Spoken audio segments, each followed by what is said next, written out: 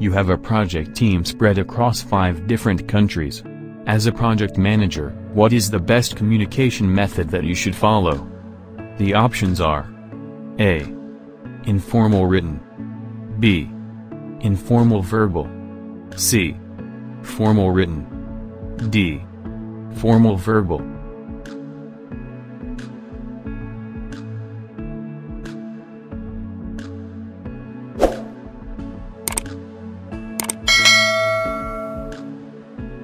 The correct answer is Option C.